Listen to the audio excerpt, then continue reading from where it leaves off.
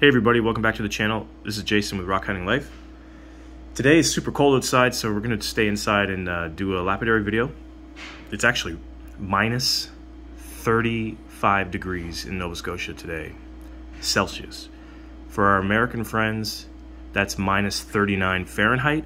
With the wind chill, it's minus 45 degrees Celsius, which makes it minus 49 Fahrenheit. So that's how cold it is in Nova Scotia right now. It's due to a phenomenon they call a glacial vortex. It came across from Siberia, across the poles, and now it's hitting Nova Scotia. I guess in Siberia uh, a couple weeks ago, this glacial vortex brought temperatures of like minus 65 degrees Celsius, which is crazy. Anyway, these are these are record low temperatures for Nova Scotia this time of year. Usually our winters are pretty mild. You know, we hover around zero degrees Celsius most of the time, uh, but this is really crazy uh, crazy cold weather. So obviously we can't go outside. So lapidary video today. I was in our little breakfast nook here in the kitchen and we have this little jar of vase of rocks that we, you know, just dump rocks into. I don't know what the reasoning is. We just put rocks in here. Uh, there's no rhyme to reason of what goes in here.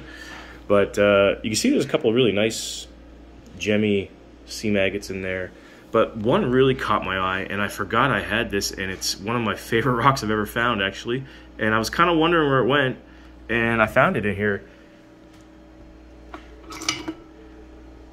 This guy right here. This was found at Ross Creek Beach. This is where we find our cycads, but I found this thing. Uh, we call these uh, porcelain seam agates. Got this kind of porcelain look to them. Anyway, this one was one of my all-time favorite because it's just so unique and it was a nice big chunk, no fractures in it. Um, so we're gonna work with this today. I'm just gonna polish this on the flat lap. Make a nice, I'm gonna make a cut here where I can stand it up, make it into a shelf piece, uh, get some shine on it. It's got a nice smooth cut on it, so this should be easy to polish on the flat lap. Uh, we haven't done a flat lap video in a little bit, so we're gonna do that today. Show you the colors here. We'll zoom in on this thing. This is dry. But uh, really, really cool feature. It's got this like little pink at the top of the seam there. You can see the little pink crystals that are dropping down. And then you have it going into a more clear chalcedony. But uh, really cool. I really like this, this piece. So we're to fix this up today, make it into a shelf piece. Let's go into the shop. So the first thing that needs to happen, we need to cut a little base for it to stand up on here. So we're just going to notch this at like maybe a 30 degree angle so that we can just have it prop up kind of like that. So we'll do that on the Hi-Tech Diamond 10 inch slab saw.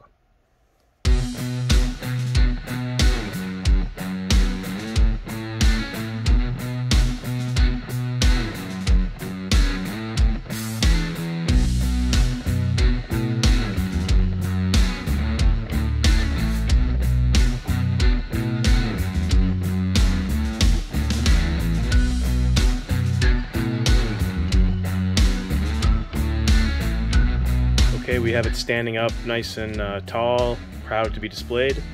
So now we're going to take it over to the Hi-Tech Diamond 8-inch flat lap and start on a 260 grinding and see if we can get this thing uh, polished up.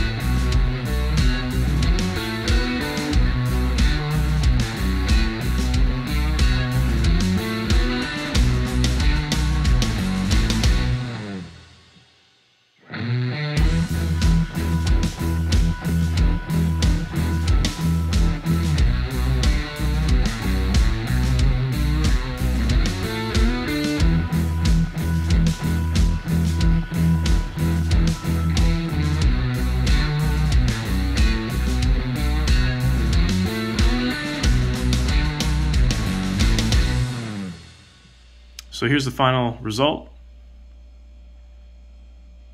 As you can see, we got a nice mirror shine there. You can see the trees outside perfectly. And we have a nice, nice shelf piece.